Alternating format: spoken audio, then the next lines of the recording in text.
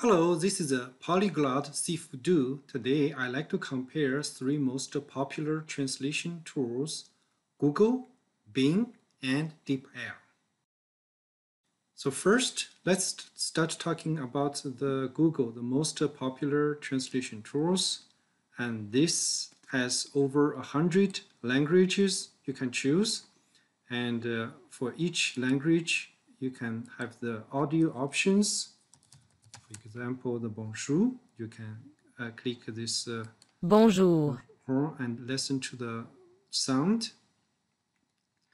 And uh, people using this uh, everywhere, and uh, now the Google Translate also most representing for the automatic machine translation.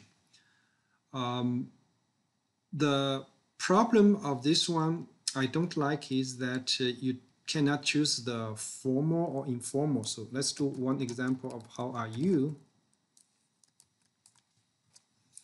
Okay, so let's choose English to how are you and uh, the French is ça va. Then it cannot give you this automatically by choosing comment allez-vous or comment vas-tu. So you have to man, uh, manually select that Uh, ça va? Vas-tu?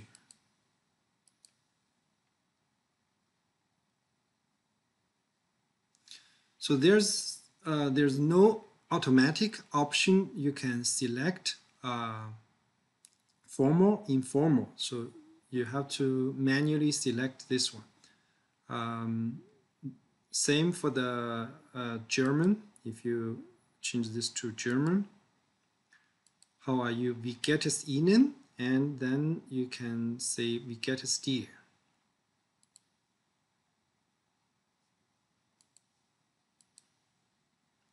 So this one always uh, give you the formal way. The you have to manually probably copy this one into this, or you can change it like this. So this uh, give you this uh, menu uh, option, but uh, it's a limited uh, option. And also you cannot change too much about this uh, individual words for the translate options. Um, so the only times I use that one just for a quick uh, translation, but if you want more accurate translation, I would prefer to use uh, other translation tools. But uh, sometimes you maybe have language not available in other translation tools, so you still want to use the Google Translation. Okay, let's talk about the second one is Bing Translate. Bing Translate, I like this uh, the most for it has uh, two options of the French. It has a regular French and the French, uh, French Canada. So let's do a quick test uh, for the uh, for, for the French test. So for example, the email in the regular French is uh, actually email, but in, in Canada we use courrier. So we change this to courrier, this email. And the second test will be the parking. So in the parking, in Canada, French is le stationnement, and in France, it's just using the parking. So it's an anglicism in the French. Um, but I like most is that uh, it has the options for the four Chinese languages. So it has the Cantonese traditional, it has the Chinese literary and Chinese simplified and Chinese uh, traditional. So let's do some uh, quick test uh, for this uh, Chinese uh, function. Let's starting with a simple uh, how are you again. And by the way, we can test this uh, has a French comment vas-tu and uh, it does not give you this option of the comment allez-vous. Okay, let's see the Cantonese. 你好吗? So this one you can you can choose uh, translate to 你好吗? Lei and uh, simplified Chinese character, Ni and the traditional Chinese uh, character, Ni then it's traditional. And the last one, this uh, literary, so this one is like a more old way, uh, Ni but this uh, didn't do a good translation. Let's try uh, Um, yeah, this one it, it doesn't show. It, it, should show some like a more ancient way of uh, uh, saying, but this uh, uh, this is not a good good example. Um, maybe that's uh, where are you going to? Mm, yeah, this uh, literary is still not uh, doing a good job. It we cannot see the difference between this uh, simplified. So this is uh, still have some uh, actually the need some improvement for this. Uh, okay, so the for the last one will be the I like the most is the translation from directly from uh, Chinese simplified into the Cantonese. So sometimes I have to write some comments in Cantonese and I don't want to write uh, um, uh, uh, from English. So I, I like this. Let's say it's a morning. So this is mor morning. Uh, it says the morning. That's that's probably not correct. Um, let, let's see. Good morning.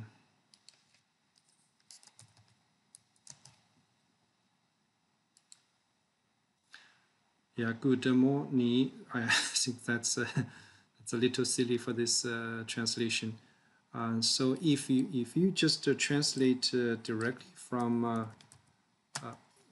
simplified Chinese, then you have a more accurate translation. That's why sometimes it's better to use Chinese Mandarin translate into directly Cantonese. that's how I like this and uh, like uh, sometime more 东西 in in in simplified Chinese, uh, Cantonese 也 etc. And uh, so the of course this one you can also translate uh, the uh, Chinese simplified into the traditional. In the old way, I used to have this uh, um, uh, tradition, um, uh, a tool called the uh, GB to the Big Five translation tool. But sometimes you know the one Chinese char simplified character can be corresponding to two traditional or one simplified, one traditional. So that's not accurate. Actually, I found the Bing translator did a good job doing this uh, translation. So let's do some uh, quick example to test this one. So for example, 面条 and 面对. And we can see this um, noodle, 面 is translated tra traditional, but the 面对 is still keeping sim simplified. That's correct. Let's do another example of 公里 and 里面. And we can see that 公里, the kilometer, is uh, keep uh, simplified. That's correct. Li Mian Li is translated traditional. That's uh, that's a good good uh, translation. And if you're using that GB to big five, that uh, uh, sometimes translating everything unnecessarily into traditional. But this Bing still not perfect. So let's do another test of uh, Su Xing. Wake up and Suzhou.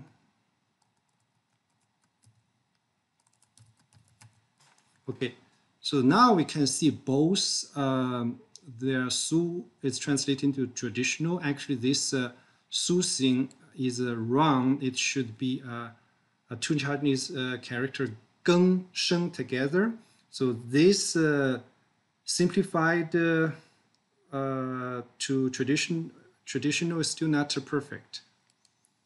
Okay, so this is the, actually I should use the Ch Chinese uh, traditional, but it's the same.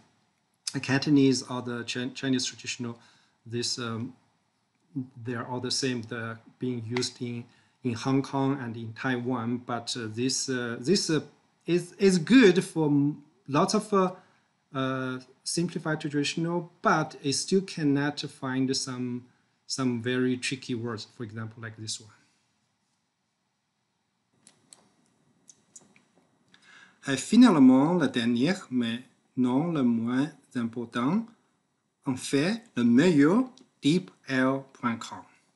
Il y a plusieurs avantages d'utiliser DeepL, surtout si vous avez acheté la version professionnelle. La première, euh, l'avantage, la particularité est que vous pouvez choisir euh, tutoyer et vous voyez. Par exemple, euh, par exemple, how are you?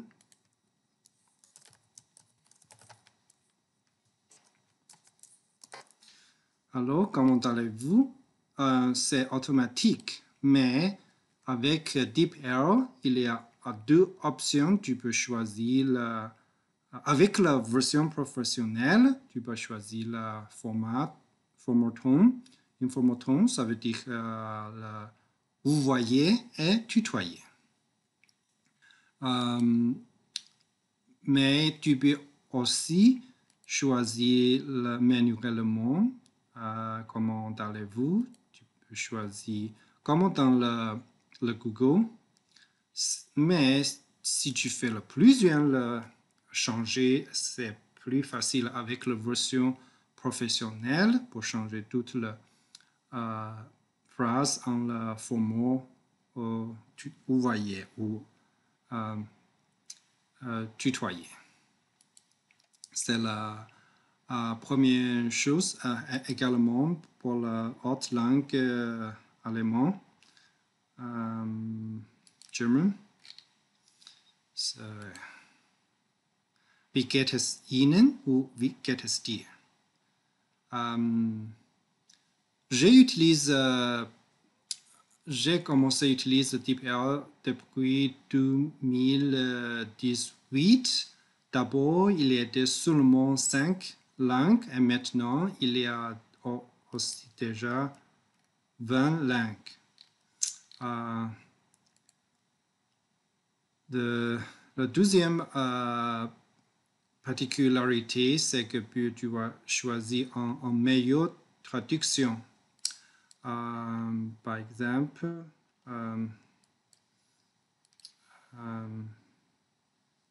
euh, si tu cliques euh, sur le mot, tu peux choisir dire, ihnen, ou euch. On va changer en le français.